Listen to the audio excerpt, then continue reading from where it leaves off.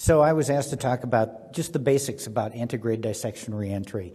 And as Bill said uh, earlier, and other people said, if you don't understand this, um, you're not going to be a solid uh, CTO operator. It's one of the basics. It's something that's very learnable, and uh, and it's something that's well supported uh, by the data and the industry. As I said, I've got nothing to disclose. So why is antegrade dissection reentry needed?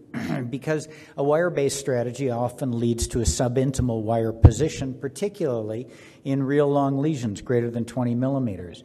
And previous techniques, such as STAR or LAST, uh, were often unsuccessful, at least in the long term. So, what is it? It's a technique that utilizes the subintimal space to advance past the CTO in a controlled fashion. This generally allows for a predictable and a reproducible reentry into the true lumen distally. And this generally uses uh, equipment specifically designed for antegrade dissection reentry. So, when is it the first choice? When the proximal cap is unambiguous is uh, one of the main reasons when you know where to go, and when the CTO is long. If it's short, you can generally go with a wire escalation strategy. But if it's long, chances are very good you're going to end up in the subintimal space anyway. And when the distal cap is not at an important bifurcation, meaning that there's a good landing zone, when the distal vessel is not diffusely diseased or underfilled, although, uh, as Bill showed earlier, as you progress with these techniques, you can do blind sticks on these people based on what the wire feels like, even if you can't see the true lumen. And particularly when there are no good interventional collaterals. Well, the equipment, uh, as you guys have seen before uh, earlier, uh, the cross boss is the, the initial catheter that we use in these cases to cross. And it's designed to quickly and safely deliver a guide wire to the true lumen or to the subintimal space beyond the CTO. It's advanced by a fast spin technique. Bill was showing that. You rotate it back and forth as fast as you possibly can uh, with a minimum of uh, forward pressure. It's got an atraumatic distal tip and it's uh, moved over an 014 guide wire.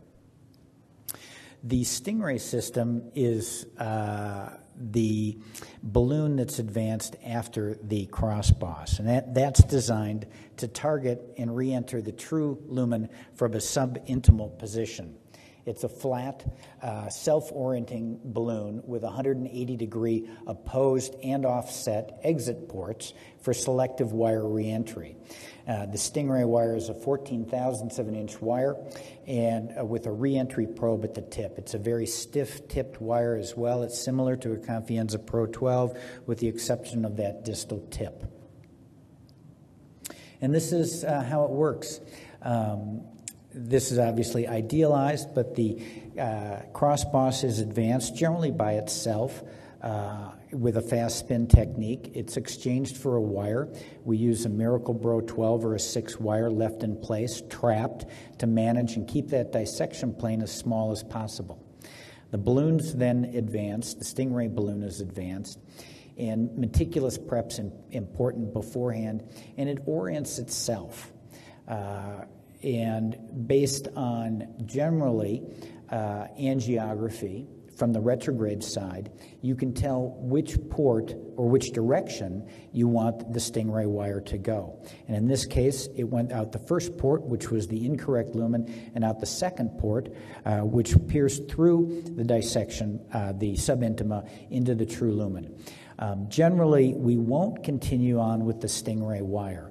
The reason for that is that the Stingray wire often will continue to go straight and just go straight into the other side of the, of the vessel, and you won't actually know that you've gone into the true lumen. So you'll go through, you'll actually go through the true lumen. So you need something a little less traumatic uh, to get through. Um, this is one uh, case uh, of antegrade dissection, a 65 year old female, angina on maximal medications. She's got an abnormal stress echocardiogram and an obvious uh, right coronary artery CTO. The uh, proximal cap is somewhat uh, ambiguous, but I think it was, it was clear from other views uh, that we could see where the side branches came off and where a good starting point was. Uh, this is a cross boss. It needed to have an anchor balloon placed. Sometimes uh, we'll use guideliners, of course, uh, if, if that fits into the vessel, uh, to get it through the proximal cap. And you notice that the uh, cross boss straightens the wire, straightens the artery out. That's as people were pointing out earlier. You need to be very careful that you're actually still in the architecture of the vessel. So by directional um, offset views, uh, at least to check the course, are important.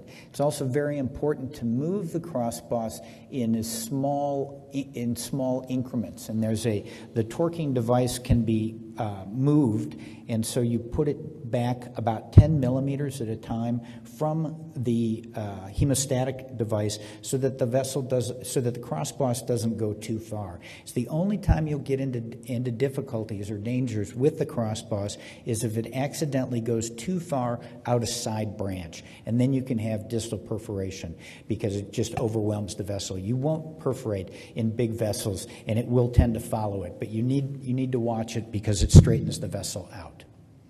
So, as I said, uh, this is the RAO view. We can tell clearly that we're in the architecture of the vessel. Take it further down here, and again, this vessel is straightened out. But with retrograde injections, you can tell that you're still in the architecture following uh, the right path. This is a Miracle-Bro wire. We use a trapping technique. Uh, it, you don't put a bend on the wire. You just want it to sit and not move so that you don't make the subintimal dissection larger, which creates a hematoma, which closes off or makes smaller your distal true lumen. You want your distal true lumen to be as big as possible so that you have the biggest target you ha- can have to aim for. Now that's a stingray wire, uh, or stingray balloon, excuse me. Um, you can tell the two uh, distal markers on it. Right in front of those two markers are where the ports are. You can't tell which direction the port is going until you advance a wire out of it. Um, so that's the stingray by itself. Oftentimes you'll look at it in a different view to uh, make certain that you're um, a, uh, you have a good view of where the wire is coming out. So the Stingray, and that's the Stingray wire that's been advanced there. That's the Stingray wire that's enter uh, that's exiting the distal port. It's the stick. Uh, it doesn't actually look like it's uh, in the true lumen there. But when it's swapped out, uh, generally most people will use a Pilot 200. It's got a little bit of TIFF stiffness, but it's a lubricious uh, hydropho- uh, hydrophilic uh, polymer jacket uh, wire uh, that will actually go through. You make a bend identical to the bend that's on the um, wire already in the Stingray. Sometimes you'll add a more proximal bend to that to give it a little bit more reach. And so that's the swap, the stick and swap, and that's the final uh, result, at least in this case. So, uh, take homes on this. Um, are really the, it's a you spin as fast as you can you advance the cross boss in very short advances uh, check to make sure that you're in the architecture. That's the only time that you'll get into trouble is if you go too, if you advance too far without checking. Control your dissection size. Do everything you can. Like Bill was saying earlier today, he used a knuckle wire to get down past the CTO, but then to get to the landing zone, you finish with the crossboss because it's a one millimeter catheter that keeps your dissection very small. Uh, you, you, avoid antegrade injections because that would cause a hydraulic dissection. Um, the stick and swap is uh, imperative. You move the stingray into different positions if you're unsuccessful, in, in, uh, even in the same plane. You just advance it uh, back and forth. Uh, and if you're una- unable to visualize, as uh, Manos devised double blind stick and swap where you just go out both sides with your Stingray wire and then you go out both sides with your Pilot 200 wire. And if any of them feel good, then you confirm uh, with a retrograde injection. So, thank you. Thank you, Nick. That was a very that was a great presentation.